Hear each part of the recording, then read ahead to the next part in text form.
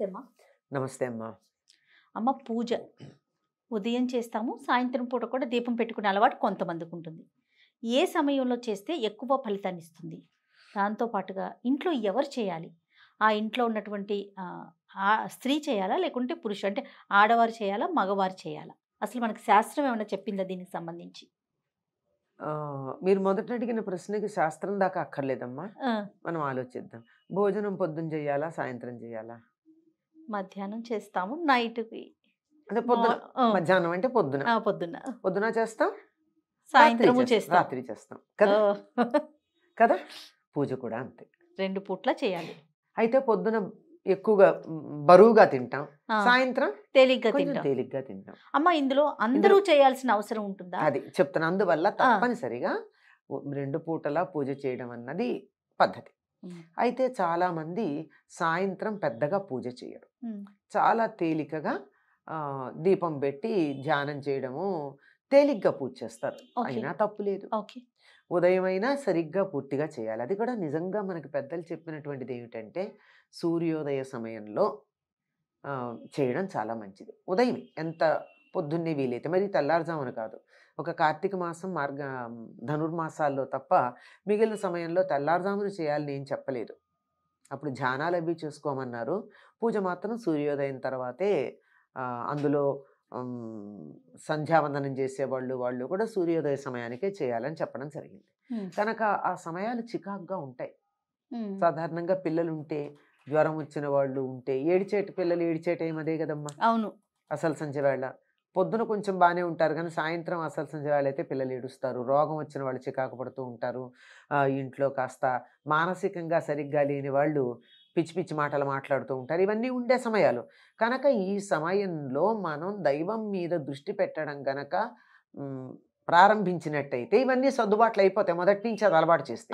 అందుకని సంధ్యా సమయంలో దీపం పెట్టడము ప్రార్థన చేయడము అందరూ దీపం పెట్టక్కర్లేదు కనుక ఒకళ్ళు దీపం పెడితే మిగిలిన వాళ్ళందరూ అక్కడ కూర్చొని దండం పెట్టుకోవడము తోచిన నామం చదువుకోవడము స్తోత్రాలు చదువుకోవడము మొత్తానికి దైవ ధ్యానంలో సమయం గడపమని చెప్పారు. ఉదయం సాయంత్రం కూడా. మీరు ఇంకోటి అడిగారు. ఆడవాళ్ళు చేయాలా మగవాళ్ళు చేయాలి? అయితే దానికన్నా ముందు కొంతమంది కొన్ని మాటలు నేను విన్నానమ్మా. కొన్ని కమ్యూనిటీస్ మాత్రమే పూజ చేయాలి నిత్యం పూజ. అందరూ చేయాల్సిన అవసరం లేదు. అంత ధూప దీప నైవేద్యాలు పెట్టి. అంత పూజ చేయాల్సిన అవసరం అందరికీ లేదు. కొన్ని కమ్యూనిటీస్. అంటే బ్రాహ్మణ కమ్యూనిటీ మాత్రమే చేయాలి అనేది విన్నానమ్మా అది కరెక్టేనా? తప్పమ్మా. ఎవరైనా చేయాలి. అందరూ చెయ్యొచ్చు. అయితే ఉదాహరణకి ఇప్పుడు పొలంలో పని చేసుకోవడానికి వెళ్ళే వాళ్ళు ఉన్నారమ్మా. పొద్దున ఇప్పుడైతే పదింటి నుంచి ఐదింటి దాకా ఎండలో చేస్తున్నారు. కానీ పూర్వకాలం అయితే తెల్లవారుజామున. వెళ్ళి తొమ్మిది పది కల్లా ఎండ వాళ్ళకి లెక్క పొద్దెక్కడమే లెక్క. పొద్దెక్కే టైంకి ఇంటికి వచ్చి మళ్ళీ తర్వాత నాలుగింటికి వెళ్ళి పొద్దుగుకే టైంకి ఇంటికి రావడం అలా చాలా చల్లబాటు వేళ శరీరం అలసిపోకుండా చక్కగా చేసుకునేవాళ్ళు. అట్లాంటి వాళ్ళని నువ్వు షోడశోపచార పూజ చెయ్యి అంటే కుదరదు గనక వాళ్ళు చెయ్యకపోయినా పర్వాలేదన్నారు. ఖాళీగా ఉన్నప్పుడు చేసుకోవచ్చు. అంతే తప్ప వాళ్ళు చెయ్యకూడదు లేదు. Exemption is different from banning yes ఈ రెండింటికి మధ్య ఉన్న డిఫరెన్స్ తెలియక చాలా problems exempted is different banned is different చెయ్యొద్దు అని ఎక్కడా చెప్పాల. చక్కగా చెయ్యొచ్చు అందరూ చెయ్యొచ్చు. అసలు కమ్యూనిటీస్ అంటే అందరూ చేయాలమ్మా దేవ ఇప్పుడు వీళ్ళు అన్నం తినాలి వీళ్ళు అన్నం తినకూడదు అని ఎవరి గురించి చెప్తున్నారమ్మా? శరీరానికి ఆహారం ఎంత అవసరమో మానసిక ఆరోగ్యానికి ధ్యానము పూజ అంత అవసరం. ఎవరికి అక్కర్లేదు? అందరూ చేయొచ్చు. కాకపోతే వాళ్ళు చేసేటటువంటి పనులను బట్టి వాళ్ళకున్న వృత్తి ధర్మాలను బట్టి వెసులుబాట్లు కలిగించారు. కొన్ని రకాలైనటువంటి సౌకర్యాలు కలిగించారు. కొన్ని రకాలైన ఇబ్బందులు లేకుండా మీరింత మాత్రం చేసినా చాలు అని చెప్పి వాళ్ళకి ఎగ్జామ్షన్ ఇచ్చారు. ఎగ్జంప్షన్ ఇచ్చారు అంతే. అంతే తప్ప ఇది వీళ్ళే చేయాలి ఇది వీళ్ళు చెయ్యకూడదు అన్నది లేదు నియమం లేదు. ఏమీ లేదు. తప్పనిసరిగా అయితే ఈ చెయ్యగలిగినటువంటి చెయ్యవచ్చని చెప్పిన కమ్యూనిటీస్ అని చెప్పారే వాళ్ళు కూడా రోజు చేస్తున్నారా అమ్మా? అంటే ఉన్నమాట సత్యం. మాట్లాడుకోవాలి ఇప్పటికి. కూడా. మీరన్న కమ్యూనిటీస్లో ఆ, నిత్యం షోడశోపచార పూజ చేస్తున్నారా? అది ప్రశ్నించుకోవాలి. ఆలోచించుకోవాలి. అది ఈ ఈ మాటలు మాట్లాడేవాళ్ళు ఇవన్నీ కూడా ఆలోచించాలి కదా. తొందరపడి మాట అనడం చాలా తేలికమ్మా. తర్వాత ఈ చేసేవాళ్ళు రోజు స్నానం చేసి వంట చేసి చేసినటువంటి వంటని దేవుడికి నివేదన చేసి నివేదన చేసింది మాత్రమే తినేటటువంటి వాళ్ళు ఉన్నారా? అందరూ? కొద్దిమంది ఉన్నారు లేరంటల్లా. అందరూ లేరు కదా. ఏదన్నా అంటే మా ఉద్యోగం మా ధర్మం అని అంటున్నారు. అందువల్ల ఇది సమాజాన్ని విడదీసి ఏదో రకంగా ముక్కలు చేసి ఒకళ్ళ మీద ఒకళ్ళని ఉసుగొల్పడానికి చేసేటటువంటి ప్రయత్నాల్లో భాగం తప్ప ఇది నిజంగా ఎక్కడ లేదు. వీళ్ళు చేయొచ్చు వీళ్ళు చేయకూడదని లేదు. ఎవరికి వీలైనట్టు వాళ్ళు చేయొచ్చు ఆ కుమ్మర భీముడు ఉన్నాడే అన్నమాచార్యులు పూజించినటువంటి అతను అతను దేంతో పూజించాడు రోజు? కుండలు తయారు చేస్తూ ఆ కుండలు చేసిన తర్వాత వచ్చేటటువంటి మట్టి చివరిగా ఉన్నటువంటి దాన్ని ఇట్లా చేతులు నలిపేస్తే చివరి మట్టి కొంత వస్తుంది. ఆ మట్టితో చిన్న చిన్న పువ్వులు చేసి ఈ పూలని ఆయనకి అర్పించాడు. చేసిన పూలని. ఆయనకి ప్రత్యక్షమయ్యాడు ఆయన అవును. అనుగ్రహించాడు కదా. అందువల్ల ఎవరికి వీలైనట్టు వాడు చేయమన్నారు కానీ ఇట్టాగే చేయాలన్న నియమం అయితే. వీళ్ళే ఇది చేయాలనేది లేదు అదే. లేదమ్మా అతన్ని మామూలు పూలు దొరికితే వెళ్ళి తీసుకొచ్చి పూలు తీసుకొచ్చి దేవుడికి పెట్టకూడదని చెప్పలేదే అతనికి. అవన్నీ ఇంట్లో చేస్తుంటాడు. ఇక్కడ కూడా చేస్తూ ఒక పువ్వు చేసి ఈ పువ్వు కూడా ఇస్తున్నాను అని ఉంటాడు. అంత మాత్రాన ఎవరిని వద్దని చెప్పలేదు. అందరూ చేయొచ్చు.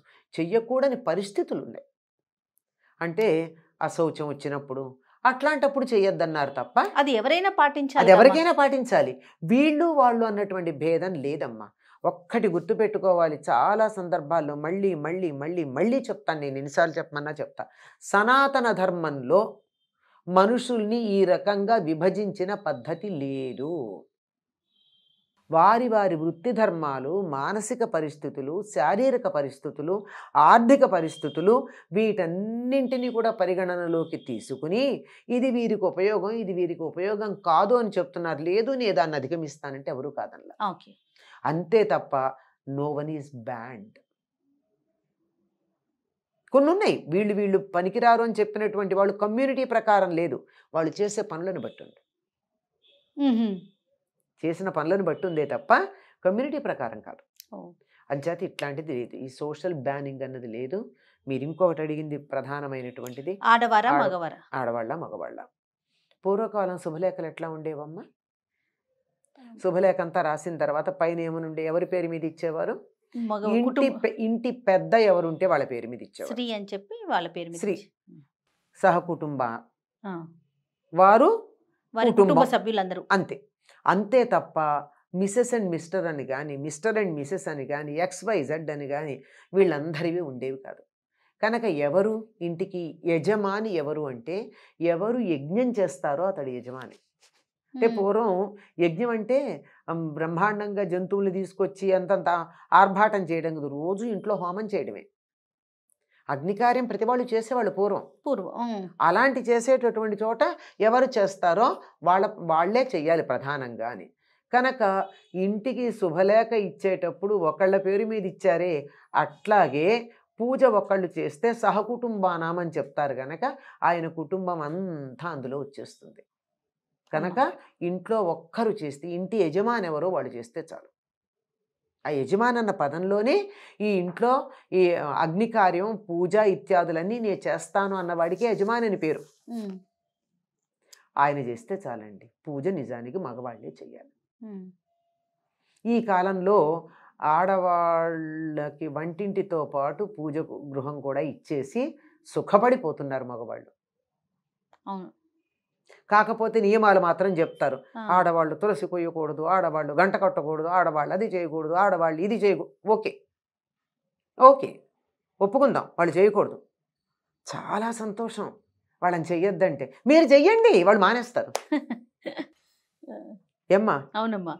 వీళ్ళు చేయకపోతే కదా వాళ్ళు చేస్తున్నారు. పూజ నేను చేస్తానని ఆయన కూర్చుంటే గంట ఆయన కొడతాడు. ఆయన ఎందుకు కొట్టాలి? అదే ఆయన కూర్చో పోబట్టే కదా. పోబట్టే కదా? లేకపోతే గంట కొట్టడానికి పిలుచుకురావాలా? అదే కదా. మరి ఆడవాళ్ళు ఏం చేయాలి?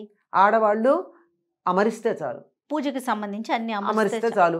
వీళ్ళకి ఏదన్నా జపాలు చేసుకోవచ్చు తప్ప స్తోత్రాలు చదవచ్చు అన్ని రకాలు చేసుకోవచ్చు. అదే దీపం ఉంది అక్కడ ఆ దీపం ఉన్న చోటే అదే అగరొత్తులు ఉన్నాయి అన్నీ ఉన్నాయి. ఆ ఉన్న చోట కూర్చుని వీళ్ళు ఇంట్లో ఆడవాళ్ళే కాదు పిల్లలు పెద్దలు ఓ కుటుంబంలో ఇవ్వాళ్ళంటే ఇద్దరు ఒంటికాయ సొంటు కొమ్ముల్లాగా ఉంటున్నారు. కానీ ఓ పాతిక మంది ఉండేవాళ్ళు కదా. ఇంతమంది ఉంటే ఏం చేసేవాళ్ళమ్మా? అందరూ పూజ చేసుకోవాలని ఉండదు. ఎవరికి వాళ్ళకి ఆత్మోద్ధారణ కావాలని ఉండదా? అంచేత ఇంటికి పెద్దెవరో వాళ్ళు పూజ చేస్తే మిగిలిన వాళ్ళందరూ అక్కడికి వచ్చి వాళ్ళు చేయవలసినటువంటివన్నీ స్తోత్రాలు అవన్నీ అక్కడే చేసుకుంటారు. అదే పూజాగృహంలో చేస్తారు. మళ్ళీ ఇంకో దీపం పెట్టడం. అలాంటివి చేయరు. మళ్ళీ ఇంకో నైవేద్యం పెట్టడం. మళ్ళీ ఇంకొకటి అన్నీ సెపరేట్గా చేయడం ఉండదు. ఆయన చెప్పేశాడు కదా ఒక ఆయన మొత్తం అందరికీ ఒక సంకల్పం చెప్పేశాడు కదా. సహకుటుంబానం అంటే మళ్ళీ నువ్వు వేరే సంకల్పం చెప్పుకుంటే ఈ కుటుంబంలో సభ్యులు కారా మీరు? నేను చెప్తూ ఉంటాను. చాలాసార్లు చెప్పాను.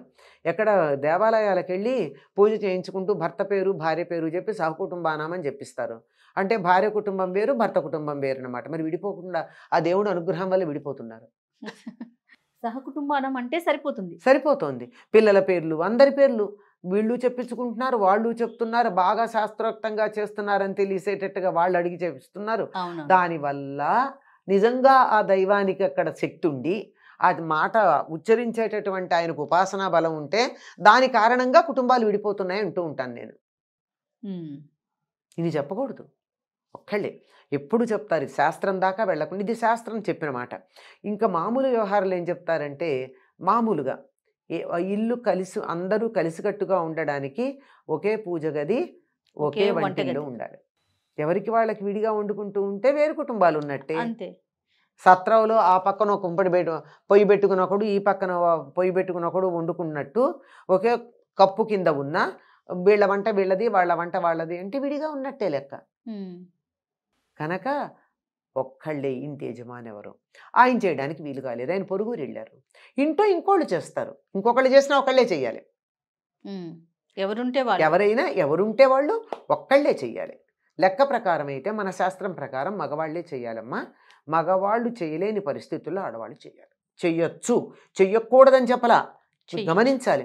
ఈ మాట ఇప్పుడు మగవాళ్ళు చెయ్యాలి అనగానే వెంటనే ఆడవాళ్ళు చేయకూడదు అని చెప్పేటటువంటి వాళ్ళు మేమెందుకు చేయకూడదని వాదనకు వచ్చేవాళ్ళు? ఈ రెండు పక్షాలు ఉంటాయి. అలాంటిది ఏమీ లేదు. ఆడవాళ్ళు కూడా చేయొచ్చు చెయ్యొచ్చు. వాళ్ళు ప్రధానం. ముఖ్యంగా ఎవరి డ్యూటీ వాళ్ళు చేయాలమ్మా. ఆ డ్యూటీ చేసేవాళ్ళు లేనప్పుడు ఇంకోళ్ళు వాళ్ళ డ్యూటీ చేస్తారు మానేయరు. ఎవరు చేసినా అందరికీ వర్తించేటి చేస్తారు. కుటుంబానికంతా ఒకళ్ళే చేస్తారు.